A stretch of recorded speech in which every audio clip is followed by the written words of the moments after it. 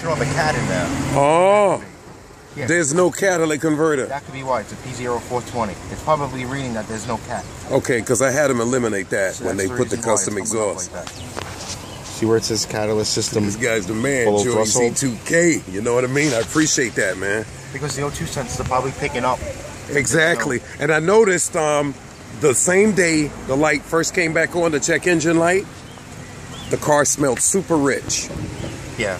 I mean, super, super rich immediately. Because the O2 sensors tell it how to adjust, basically. Got you. The air fuel ratio. Yeah, Depending on how you have one pre-cat and then one post-cat. the pre-cat The is still there. Yeah. Yeah, And the post-cat one is probably picking up that it's not doing anything because it thinks it's got you. catalytic. So that light's just gonna stay on due to that. So that's the only issue. It's nothing actually. I don't think so. Okay. And if you want, I could delete it and then you could see if it comes back on. You're the man. All right, All up right, to you. Joey. I'd appreciate that. So uh, what's gonna happen with this at the track, Joey? I don't know. Last time I ran 16. We'll see when I bring it back. 16's at the track. Now, I know this RAV4 is going to probably run a high 17 or 18. oh, man, maybe. We gotta bring the Buick down one day And I- before I bring this. That's what I mean, man. I'm going to, you know, I'm going right to Ralphie right after this. What I'm going to do, Joey, I'm going to post your video, this one first. And then um, when I get to Ralph and put the gas in my car, I'll do that next.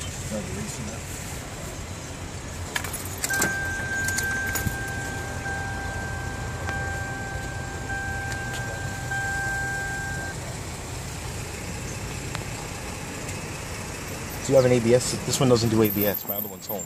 Okay. See why the ABS light is on. Yeah. I gotta the, the light is on for the Yeah. ABS.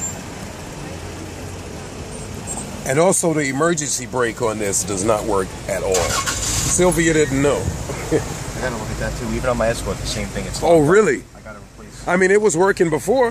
One of the mechanics that she went to either, um, Did you have the brakes done? The rear brakes done? So yes. it could be something with that. Okay. Like, the check engine is That was. Jorge. Right now, you have no check engine. If you want to go to live data, So what is it? How, how does that check engine light get tricked out?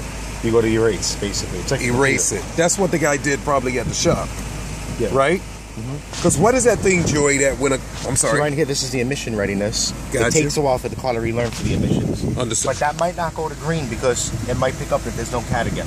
Understood. So it might always be right. But it takes like a drive cycle, like 50 or 60 miles. That's what I was going to mention, something in reference to that. I remember a trick back in the day what mechanics would do. They would disconnect your battery, yeah. put it back. on and get to drive around for a little while. yeah, before the light comes back on again. Yep. See, look, right here's your live data. Live data. You got your short-term fuel, your long-term fuel. You see the Okay. numbers changing. Yeah, That's your map sensor, you're the man. I really appreciate your this. engine RPM, Gaining the knowledge. engine coolant temperature. What's that? Three, oh, 165. Yeah, that's how hot coolant. Wow. How much is a tool like this, please, sir? Oh, I don't need it. I won't Yeah. see.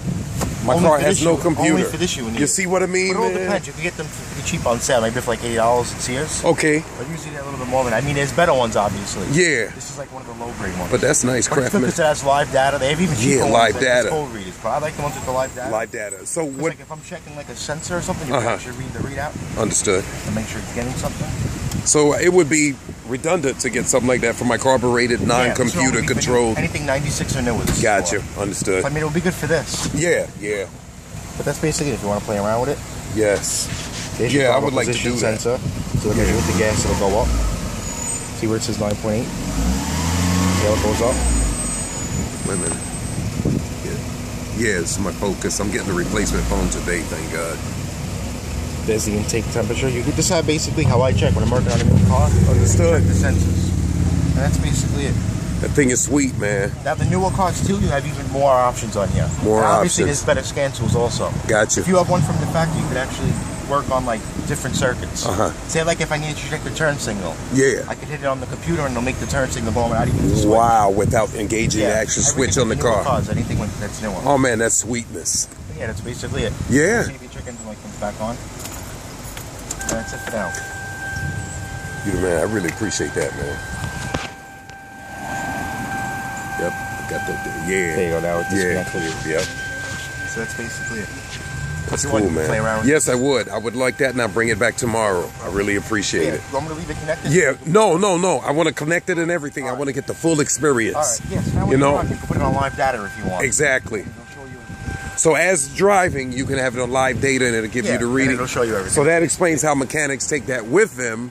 When they have to go diagnose. Thanks, man. It's the first time I gained the knowledge of that. I appreciate it. All right, Joey. I thank you, sir, very much, man. For real.